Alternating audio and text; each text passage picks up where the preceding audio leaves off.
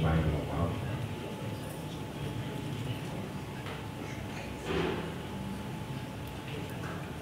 Sahabat-sahabat yang saya cintai, saya banggakan Khususnya sahabat Jen dan sahabat Fik Alhamdulillah sore hari ini saya bisa silaturahim sama sahabat-sahabat sekalian di kantor pimpinan pusat gerakan muda Ansor dalam keadaan sehat walafiat, tidak kurang sesuatu apa pun dan semoga pertemuan kita sore hari ini membawa manfaat dan barokah untuk kita semua dan tentu untuk jamiah untuk dan bangsa dan negara yang kita cintai. Sahabat-sahabat sekalian, ini acaranya apa? Halal bihalal, acaranya halal bihalal. Saya tidak akan bahas halal bihalal. Yang jelas tentu saya punya salah pada sahabat-sahabat sekalian. Saya mohon maaf baik atas nama pribadi maupun atas nama pimpinan gerakan pemuda Ansor. Saya tidak tahu lebarannya masih ya, sawah masih ya, masih ya sawahnya masih masih uman lah, masih ketuman. Mohon maaf dan batin, mudah-mudahan amal ibadah kita selama Ramadan kemarin diterima oleh Allah taala. Dan tentu kita berharap dipertemukan kembali Ramadan tahun depan. Sahabat-sahabat sekalian, hanya sedikit saja saya ingin sampaikan. Ini ada beberapa perkara yang saya kira kita harus buka secara lebar di sini agar kita semua tahu dan paham posisi kita ini ada di mana. Pertama soal GMNU sendiri. GMNU. Beberapa waktu yang lalu saya dihubungi oleh sahabat Zen ini untuk menjadi Dewan apa? Dewan Pembina.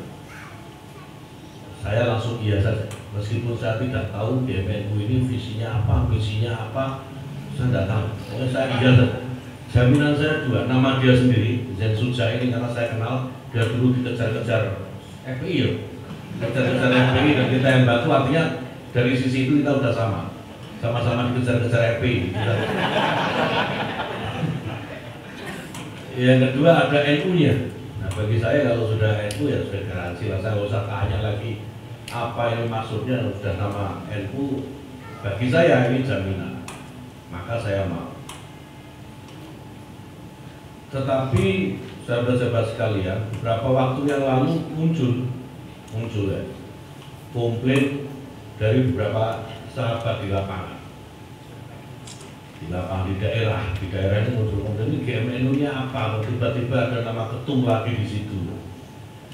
Saya bilang ya sudah tidak apa-apa ya, biarkan saja teman-teman yang lain ini beraktivitas.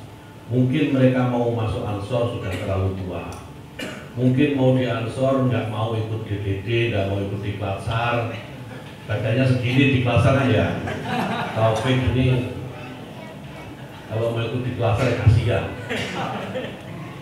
bisa jadi tapi yang jelas visinya sama dengan visi kita dan visi ansor soal wadahnya berbeda yaitu tidak usah terlalu dipertajam saya kira yang penting bagaimana kita ini fastabiqul khairat saya bilang begitu teman-teman. Hanya sahabat-sahabat sekalian, saya mohon karena ini GMNU kan masih baru ya. Sudah ada setahun belum? Dua tahun. GMNU ini baru dua tahun. Supaya tidak terjadi apa kesalahpahaman gitu ya di lapangan. Kalau bikin kegiatan kan lebih enak kalau berkomunikasi komunikasi lah dengan baik itu Ansor, Banser, Ibnu, PPNU dengan banom-banom NU yang sudah lahir luar. Nggak ada salahnya saya kira mau kita ini nggak beda. Kan sahabat-sahabat sekalian ini nggak beda dengan Ibnu, dengan PPNU, dengan Ansor kan nggak beda kan? Yang diperjuangkan sama loh, hanya wadahnya atau yang berbeda kan? Nah saya kira itu akan lebih baik aja. Akan lebih baik supaya bisa di backup yang begini misalnya kalau GMNU bikin acara halal bihalal di Ansor, kemudian yang jaga di sana ada banser banyak kan kita gagal GMNU. Jadi dikira orang dari luar itu anggotanya banyak GMNU ternyata. Kan itu misalnya. Ya kalau ada koordinasi begini kan sepi-sepi aja, nggak tahu ya di luar ada apa. Kalau banyak sepeda motor, orang yang lewat nggak tahu dikira ini pabrik sepeda motor banyak di luar. Tapi kalau ada banser banyak, oh pasti ini ansor ya kegiatan kan begitu kan. Pasti ini GMNU nih ada kegiatan kan gitu kira-kira pak. Jadi saya kira tidak ada salahnya, koordinasi tidak ada salahnya. Ini penting untuk mensinergikan juga. Yang kedua nih mensinergikan gerakan kita. Setahu saya, mungkin saya salah, GMNU ini lebih banyak bermain di media sosial. Betul ya? Ini semua pegiat media sosial. Berarti handphonenya Android semua ya? Ini kan, kalau nggak punya pegiat media sosial tapi masih simbian makanya kan bohong kan? Minimal Android lah kalau nggak pakai iPhone. Ada pulsanya nggak? Jangan-jangan yang punya Android dan punya iPhone pulsa nggak ada, kuota nggak ada. Terus mau perang model apa? Kan gitu Pak Mas. Karena begini, sahabat-sahabat, tadi saya bicara juga di dalam dengan Mas Hamdan. Mas Hamdan itu dari eh, kesan kedaulatan santri, aplikasi namanya kedaulatan santri. Saya kira ini peluang. Tadi sudah bicara di depan ya. Mas Hamdan sudah bicara. Nah, Mas Hamdan ini punya aplikasi menarik namanya kesan kedaulatan santri.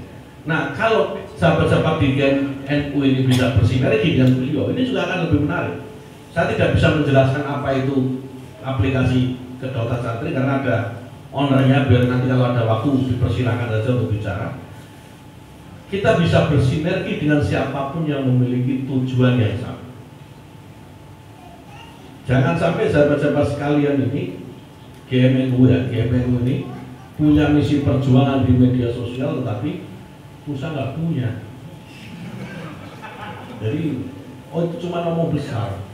Saya cerita, saya bersama Taufik ini pernah menggagas membuat sebuah aplikasi untuk gerakan pemuda Ansor. Benar ya? Dua kali kalau saya tidak salah. Tiga kali malah, diralat tiga kali. Tiga-tiganya buyar. Tiga-tiganya buyar. Karena apa? Karena ternyata setelah kita lihat problem Eh, kita yang paling mendasar adalah dua hal itu tadi. Pertama handphonenya bukan handphone Android. Yang kedua kalau handphonenya Android nggak punya pulsa.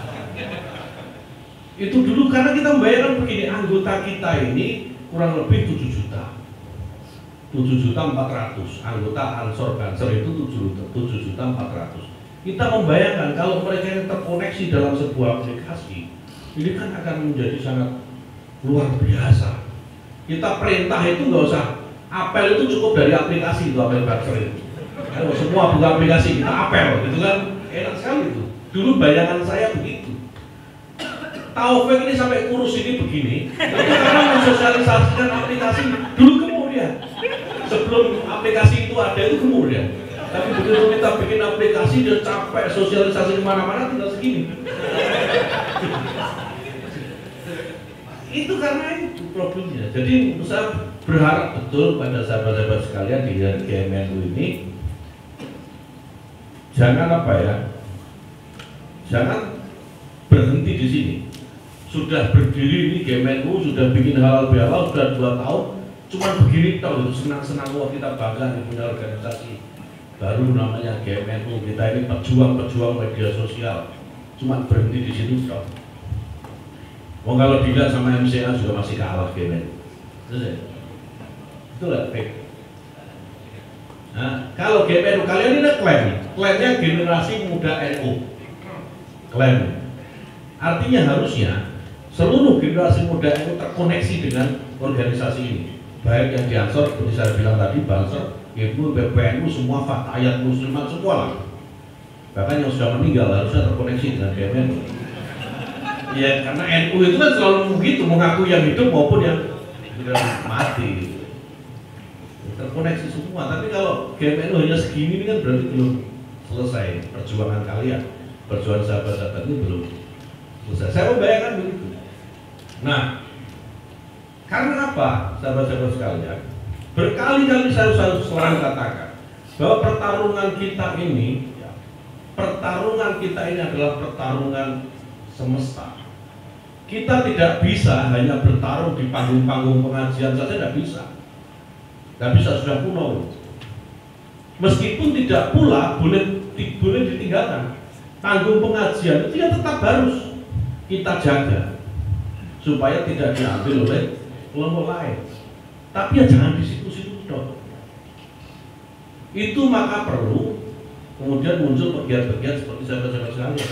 Pertarungan kita ini juga termasuk di dalamnya adalah pertarungan di media sosial. Anggota NU itu 94 juta something lah. Sekitar 94 juta anggota NU. Kalau bisa dikoneksikan semua oleh GMNU ini kan menjadi luar biasa setiap mau bikin trading topik kita tidak usah sewa akun seperti yang dilakukan topik ya mau bikin TT bingung deh dari siapa yang nyewa nyewain akun kita sewa dulu. Nah kalau 94 juta itu terkoneksi dalam satu komando nge-tweet hari ini kita bikin trending topik dengan tagar taufik gemuk gitu kan. Itu kan gampang sekali kalau terkoneksi 94 juta ya kalau semua nge-tweet 90 juta itu kira-kira trending topik dunia ya Baik, saya kira sahabat-sahabat sekalian, saya ingin menyampaikan pesan, tolong serius. Kalau sudah berorganisasi seperti ini, seriuslah. Bikin program, program nggak usah mulu-mulu lah, nggak usah banyak-banyak. Biasanya itu kalau organisasi baru begini itu, bikin program itu 1 sampai 200 itemnya itu. Padahal tahu nggak program yang paling baik itu apa? Program yang paling baik itu adalah program yang dilaksanakan. Sahabat-sahabat sekalian bikin program 200 nggak ada terlaksana nggak ada artinya. Daripada dibandingkan misalnya sahabat-sahabat sekalian membuat program cukup lima saja tetapi terlaksana semua. Kira-kira bagus mana program yang 200 nggak dilaksanakan atau yang lima tapi terlaksana? Pasti lima yang terlaksana. Nah itu pesan saya. Jadi jangan mulu-mulu. Kalau melihat potongannya Pak Zen Sujaini kan kegiatannya pengen bikin program banyak. Saya khawatir kalau kebanyakan nggak ada yang bisa dilaksanakan. Sudah pelan-pelan saja, pelan-pelan. Nggak usah buru-buru. Ansor ini sudah berdiri 80 tahun lebih. Saya itu bikin program lebih dari 10 aja nggak berani. 9 program Ansor cuma. 9 yang jalannya cuma satu baru. Jadi masih punya PR 8. Jadi sahabat-sahabat sekalian, sekali lagi saya berpesan, tidak perlu mulu-mulu sudah bikin program paling realistis yang bisa dilaksanakan. Yang penting jaga semangat ini, jaga semangat juang sahabat-sahabat sekalian. Saya yakin ketika kita ini berkumpul berjamiah di GMNU ini kan maksudnya itu kita ini menjadi sebuah pasukan yang ter terkoordinir untuk bisa suatu saat bertarung melawan kelompok-kelompok yang selama ini menyerang kita, menyerang jamiah kita, menyerang kiai-kiai kita. Yang selama ini perannya pisah-pisah itu kita jadikan satu kira-kira begitu Pak. Zain ya cita-citanya begitu dan mudah-mudahan itu bisa terlaksana. Saya kira itu sahabat-sahabat sekalian yang bisa saya sampaikan. Sekali lagi saya mohon maaf karena saya tidak dikasih tahu nih ada acara suruh pidato apa saya tidak dikasih tahu. Mau saya ini suruh datang. Kalau saya dikasih tahu saya bisa siapkan kira-kira saya mau bicara apa karena tidak dikasih tahu ya bicara seadanya begini saja mudah-mudahan ada manfaatnya Terima kasih. Wassalamualaikum warahmatullahi wabarakatuh.